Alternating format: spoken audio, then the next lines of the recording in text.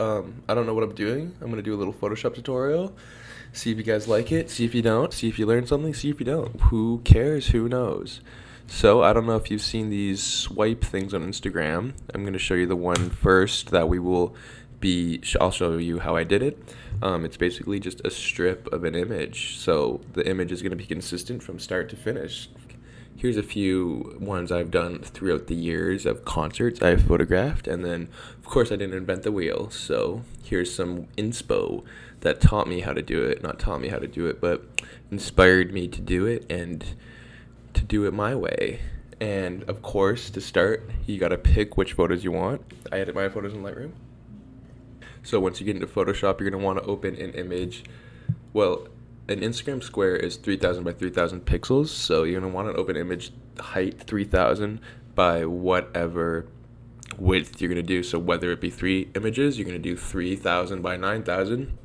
Here we are doing nine images, so we're going to do 3000 by 27000. So to get how we're going to swipe and where the images are going to lay out, we're going to want to create a 3000 by 3000 basic Instagram square and put that at the start and then layer it so you can see each one kind of like a checkerboard. Um, and then you could just do that by creating one, copying, pasting, copying, pasting, copying, pasting, so you get your little strip there, and it's done. And if you want to put them in a folder, keep it organized because you can not not be using those other than using them for um, an outline for where the swipes will be and what slide is which. So, so slide one, two, three, four, five, blah blah blah. And then so from here, go into your catalog of whatever you're trying to swipe, you know? Like um if you shot a concert, if you shot a portrait of families, whatever you shot. In this case, I shot these people on a stage. So go into there, pick the photos you like and you want to add to this little swipe um, carousel, I don't know whatever you want to call it.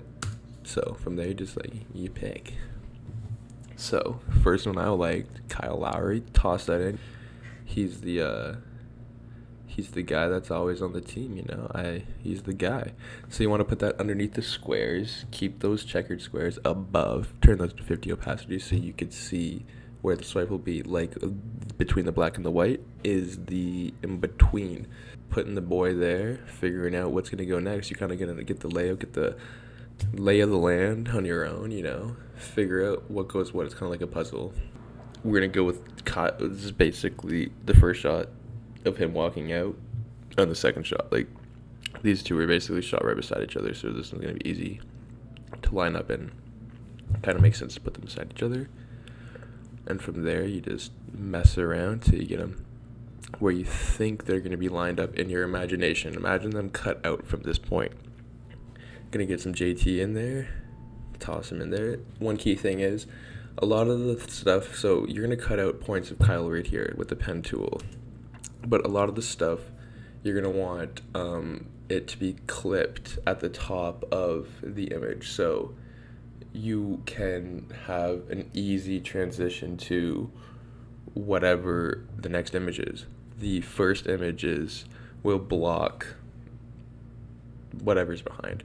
And to do so, to cut out whatever that is, you got to use the pen tool. And to do the pen tool, you click, and then the second place you click, drag it without letting go till you get the curve you like, and then you hold Option to get to the next curve you like, and then you click, drag it again to get the curve you like, Option, click, boom, boom, boom, boom, boom. You do that up the way. So once you're cut out, you're gonna want to click the final, close the gap, and then within those gaps, you're gonna want to double click on the subject itself. So Kyle, click my make selection, and you're gonna do want to do um, feather blur around one pixel, two pixel maybe. So it's not just like a sharp edge, not like it's cut out of paper. You know what I'm saying? So it's just like has a little bit of like blur to it. So it's not just as sharp, and that's really all it does. So one or two feather pixels, whatever it's called one or two. You'll see it when you do it. And then from there, you know, check is it is it good? What's he looking like? Let's see. Boom. All right. I liked it. I liked it at the time. Obviously, this is recorded not the same time. This is recorded way earlier. I'm just talking about it now. So it looks good. So there's gonna be little details that you're gonna want to cover up little things with, you know. Um, so in this case, this is the speaker. I want to cover up this motherfucker's legs and see if it looks better covered up, you know, because sometimes little details matter and you just want to cover up some shit so it looks a little more cohesive with the next image. Boom, like there you go. I feel like, in my opinion, that looked better. But see, the top of the speaker is a little sharp for my liking. So you go in, blur. You can get blur tool, motion blur, or sorry, not blur tool, motion blur, because uh, that is just the subject itself. Toss that in, boom, blur it up a little bit. You're you're a little better. You're a little better off. All right, back to JT. So we're on the third image at this point, right?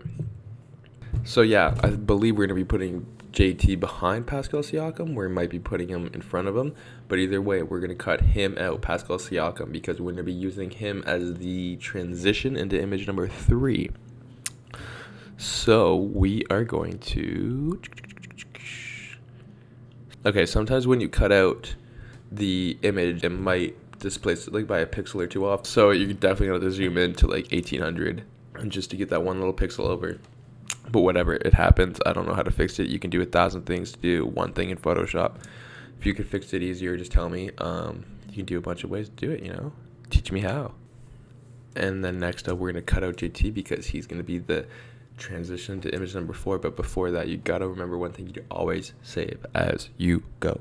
So we're to save here a psd because this image is to need to be edited in the future because it doesn't take a day. It took me about two to three days, I think, to make this thing. So always save because always save PSD because you need those layers and you will be going back to those layers a bunch during this edit of an image. So you can see JT is being cut out. He is going to be our wall for the next image. And the next image we want was Fred Van VanVleet and Pascal chilling with the announcer for the Raptors mm, that fitted nice, easy peasy.